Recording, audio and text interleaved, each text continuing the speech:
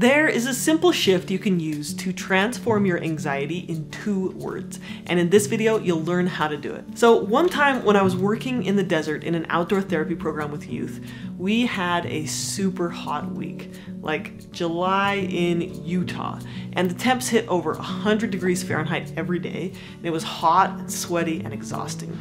And one day, when I was sitting there just kind of feeling sorry for myself, I decided to try a thought experiment. I, I love a bath so hot that it makes my skin red and sweaty. So I imagined that the waves of heat were actually me sitting in a hot bath, enjoying the feeling of heat relaxing my muscles. And suddenly, my experience transformed. I went from dreading and suffering to appreciating the discomfort. It was just like this weird shift that took me from suffering to appreciating. Now, in our body, there is no physiological difference between anxiety and excitement. Inside of our body, it's the same physiological response. Cortisol and adrenaline are released, there's rapid breathing, there's an increased heart rate. You can actually like flip a switch in your brain when you say, bring it on. I actually want this. Like, let's go. And that transforms your experience. So, in this video, you're gonna learn how you can use those two words to transform anxiety into confidence.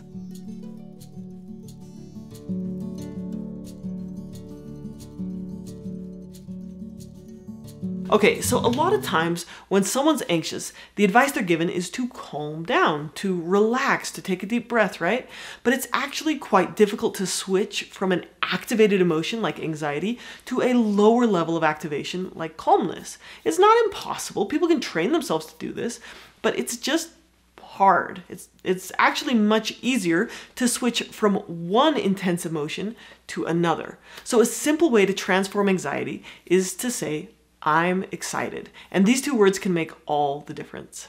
It's actually easier to switch from one heightened emotion to another. So you'll see this sometimes when someone's feeling really scared or they're feeling really embarrassed, they'll switch to anger, which is another activated emotion.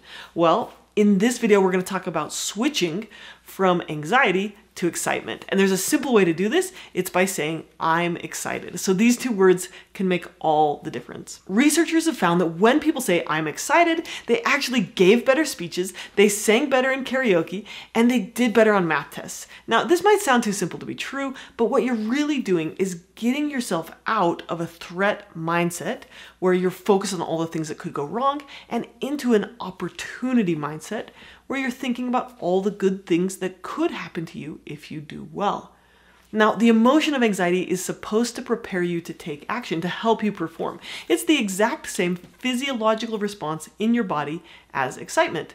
And I read a great comment on a video the other day, and here's what Bryce said. This idea literally changed my life growing up. When I was getting ready for my first speech ever with my school speech team, my coach asked if I was scared or excited. She then asked me to turn that extra energy, which was making me shake and sweat with anxiety, and channel it to project my voice and increase my stage presence. It actually somehow worked. I still get anxious about public speaking to this day, but the way I think about the anxiety and try to redirect it into positive energy. It doesn't work all the time, but that one event in high school has helped me so much in life. Okay, let me give you another example. There's something about being outdoors that is uncomfortable. It's hard, but it's also enjoyable. And I think that it's the mindset. So, the marathon near my house, their slogan is pain you enjoy. Like people choose to run 26.2 miles a day, even though it hurts, and they enjoy the pain.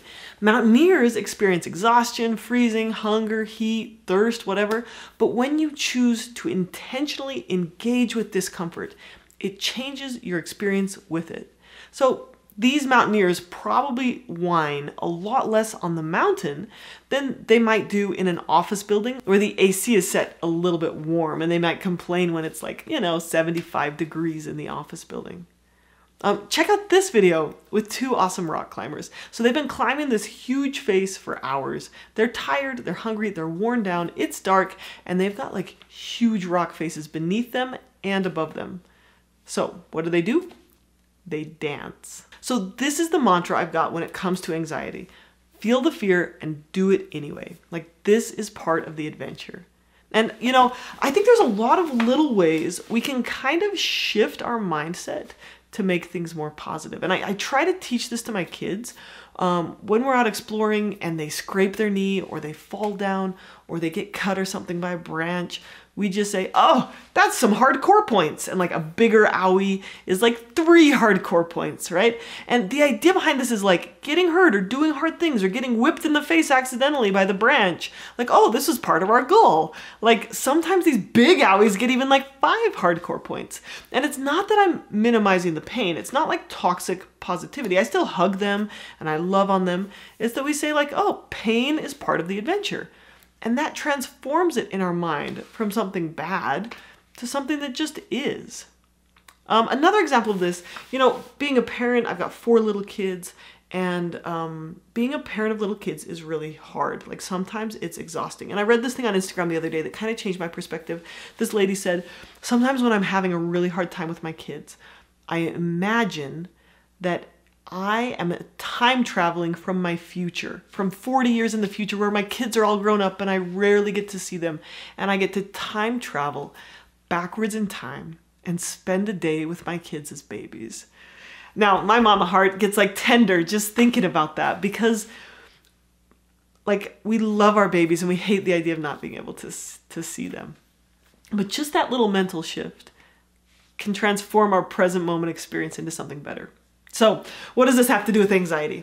When you choose to see anxiety as a normal, natural, and healthy part of accomplishing your dreams and goals, suddenly feeling scared is part of the adventure, and you're actually excited about it. So, you might see that emotional nudge of anxiety as a sign that this is something you care about. Uh, when I teach or when I do a live event, I definitely feel like a bit of anxiety.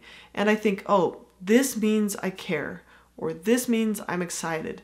This means it's important to me. Like, let's do this. To be honest, the more time I spend teaching, the less anxious I feel about it. Like, but I still feel really excited. Now, sometimes we really can calm ourselves down. We can combat catastrophic thinking or soothe our body, but sometimes the very best thing to do is to just convert all of that powerful energy into action, right? Awesome action. It's like surfing. You're not trying to stop the waves, you're learning to flow with them.